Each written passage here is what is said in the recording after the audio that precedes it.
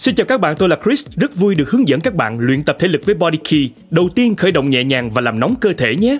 Bước khởi động này rất quan trọng để tăng hiệu quả luyện tập và hạn chế nguy cơ chấn thương. Trước hết cần làm nóng cơ thể tại vùng ngực, vai, xương sống và vùng cổ. Bạn đã sẵn sàng chưa?